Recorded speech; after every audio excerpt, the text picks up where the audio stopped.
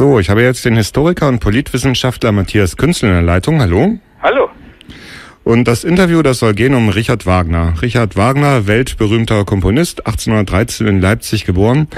Aber es soll halt nicht um die Musik gehen, sondern halt um seine politischen Ansichten. Vielleicht können Sie am Anfang mal so ein bisschen den Werdegang von Richard Wagner nachzeichnen, wo er aufgewachsen ist und in welche Richtung er sich wie warum entwickelt hat.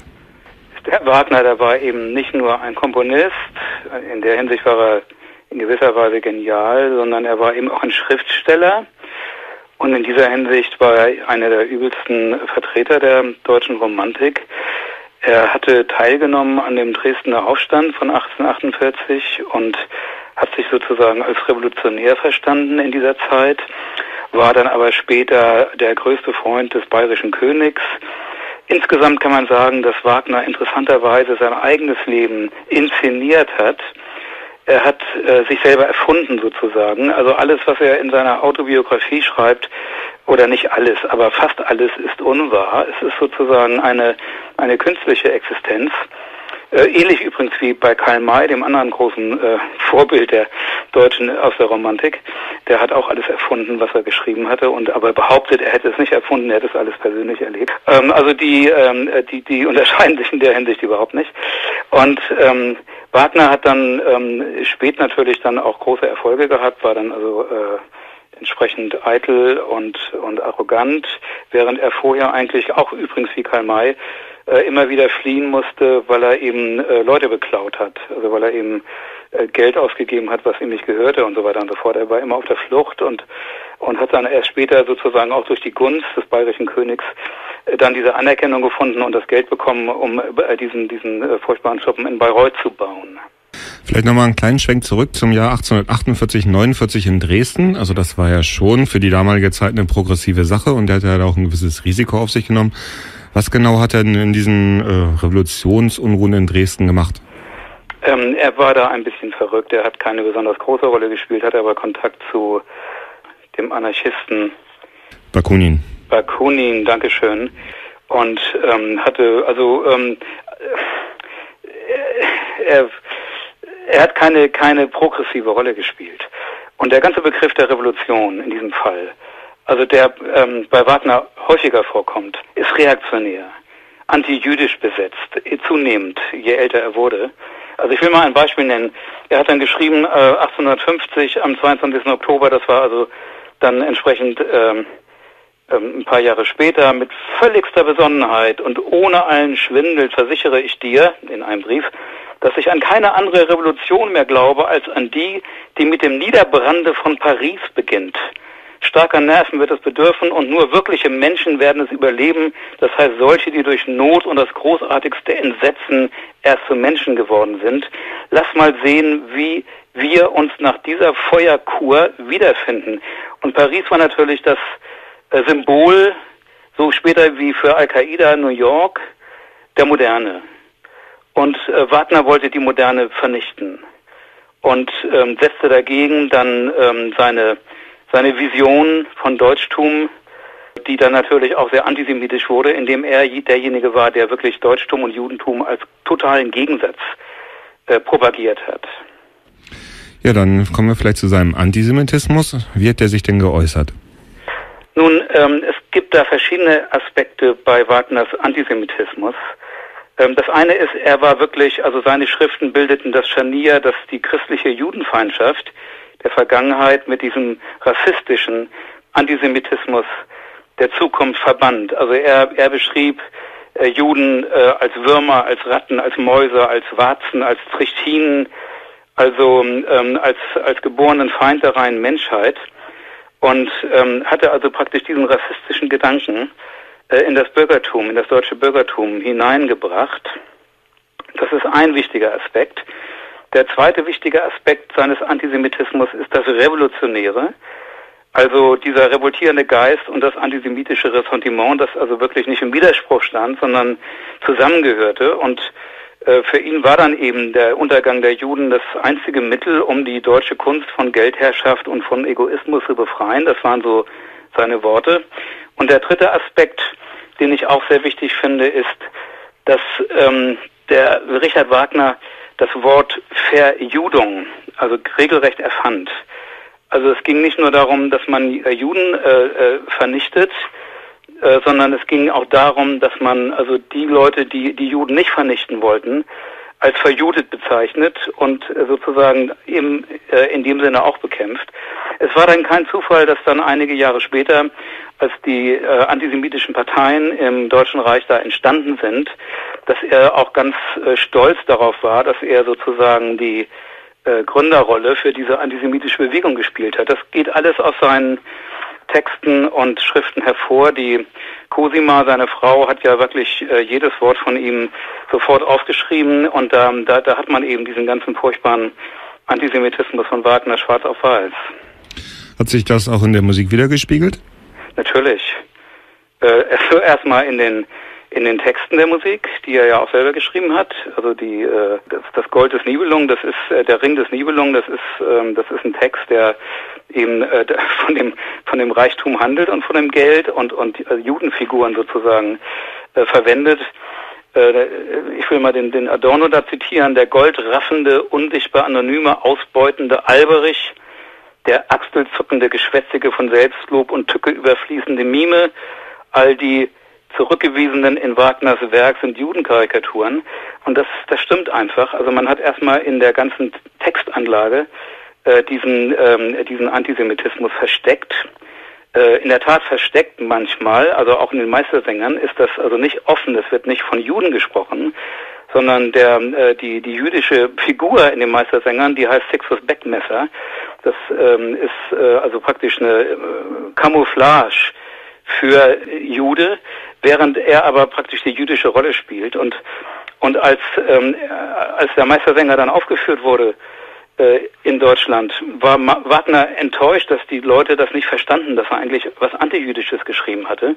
Und dann hat er seinen, seinen Text über das Judentum und die Musik nochmal neu aufgelegt, um wirklich jeden Zweifel zu beseitigen dass es hier, sich hier um, um, um jüdische Anspielungen handelt, um Antisemitismus handelt. Und dann gab es auch tatsächlich, als diese Meistersänger aufgeführt wurden in Deutschland, äh, regelrechte Straßen, äh, äh, nicht Straßen, sondern Theaterschlachten. Also in den Operhäusern haben sich dann die Leute gegenseitig angegriffen. Es wurden Hep-Hep-Rufe laut, also wo dann genau dieser Antisemitismus auf das Publikum übersprang, aber die Juden im Saal haben sich gewehrt.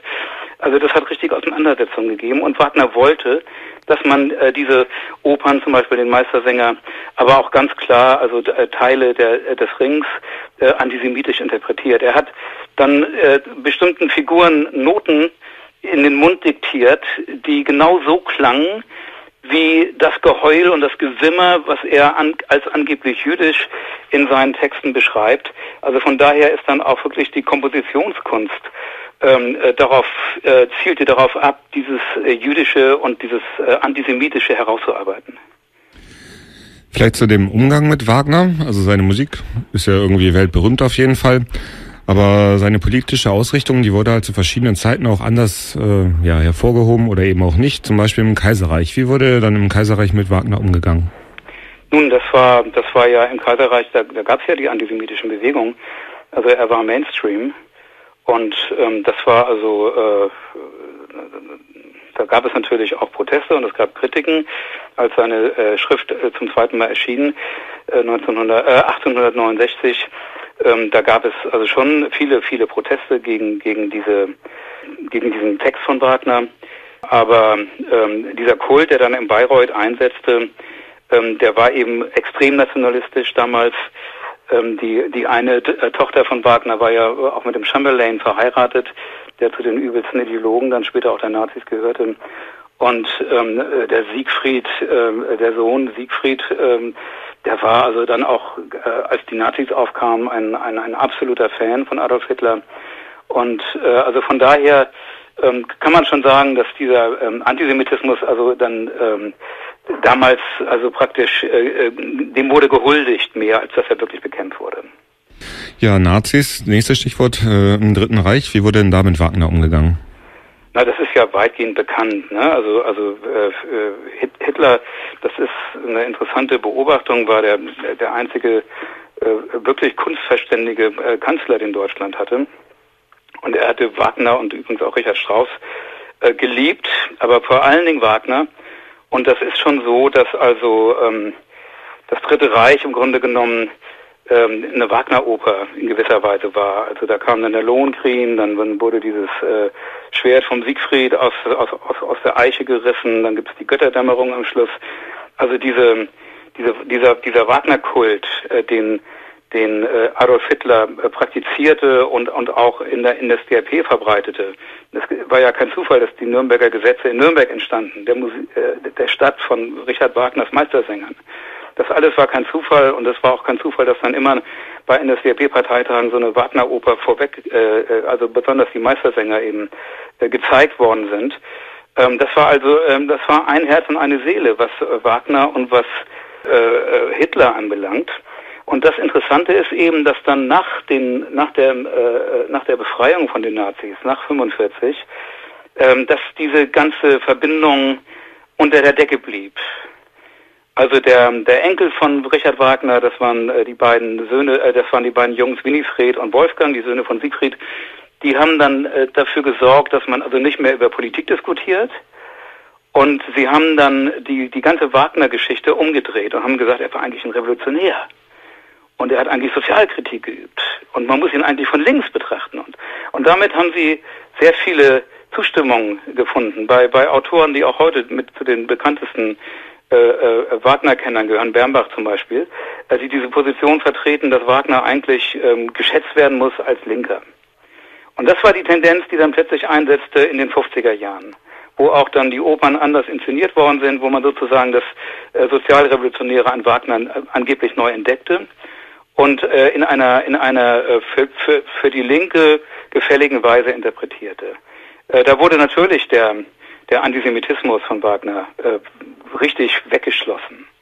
Ja, und, und das ist vielleicht ganz interessant, dass in diesen ganzen Jahrzehnten auf der einen Seite der Wagnersche Antisemitismus keine Rolle spielte, während bei anderen Komponisten, die auch sehr bekannt sind, also Schönberg oder bei Kurt Weil, der die drei Groschen Oper komponiert hat, äh, der Pro-Zionismus überhaupt überhaupt keine Rolle spielte, überhaupt nicht bekannt geworden ist. Ne? Wer weiß schon, dass Kurt Weil die Nationalhymne Israels orchestriert hat oder dass er einer der ersten waren, die 1943 eine Gedenkfeier für die Opfer des Holocaust ausrichtete und das, die Musik dazu komponierte. Das hieß damals We Will Never Die und wurde 43 im Madison Square Garden in New York auch uraufgeführt. Oder wer weiß schon, dass dass Schönberg 38 bereits ein Vier-Punkte-Programm für das Judentum schrieb, wo er also einen unabhängigen jüdischen Staat gefordert hat und, und äh, dass er sich sehr eingesetzt hat für den Zionismus.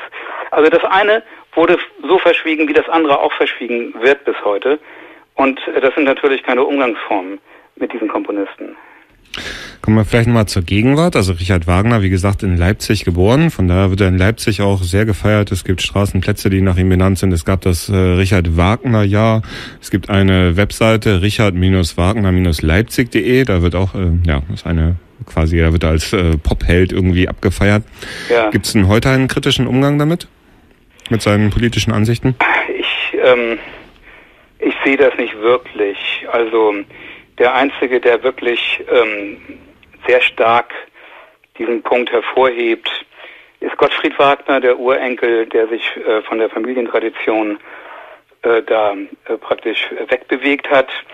Ähm, ähm, es gibt äh, von Drüner ein neues Buch über Wagner, das sich auch sehr kritisch mit dem Antisemitismus befasst, aber insgesamt äh, aus der Sicht eines Wagnerianers, also äh, gleichzeitig die Musik hymnisch lobt was man meines Erachtens, äh, ich jedenfalls nicht tun kann. Und, und also ich habe nicht das Gefühl, dass, ähm, also es soll auch in Bayreuth jetzt angeblich äh, eine Talk, so eine Talkrunde geben, wo man sich ein bisschen kritisch mit der äh, Geschichte ähm, von Bayreuth und den Nazis beschäftigen will. Also für mich gibt es da einen ganz klaren Lackmustest.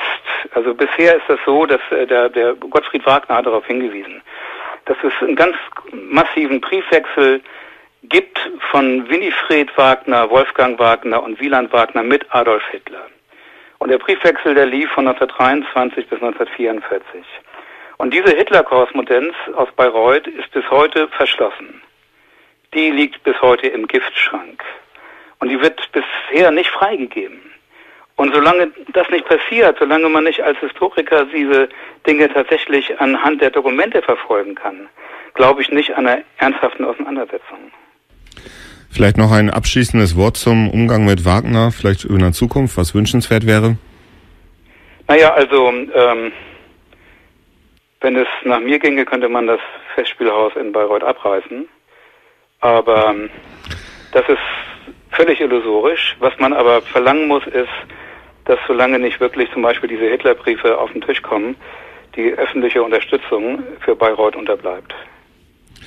Ja, dann recht herzlichen Dank an Matthias Künzel, Politwissenschaftler und Historiker.